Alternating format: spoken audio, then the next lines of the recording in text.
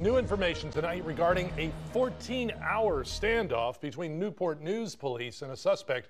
We now know that person's name.